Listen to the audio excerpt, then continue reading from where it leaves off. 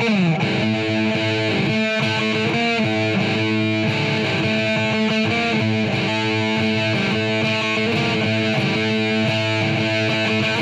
really wanted one, and my mom said no. So COVID came around, and I knew I could start growing my hair out, and it wouldn't look weird to everybody else because I wouldn't see anybody. So once it got to that length, I went to a barber shop and I got it cut. See, him and that mullet come a long way. His mullet started, um, as he said, I didn't want him to have it. We have fought about his hair his whole life. I don't.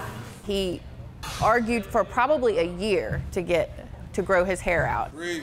And the longer it got, the prettier it got, and it just kind of became part of his personality. My dad had one, my uncle had one. It's like a family thing. Ah, Everybody loves it now. Saw it on Facebook last year when they were doing it and thought, I'm better than everybody else. Why don't I get in there? It started with 88, the top 10 move on to the finals, and he made it. He was in fifth place at that time. Go.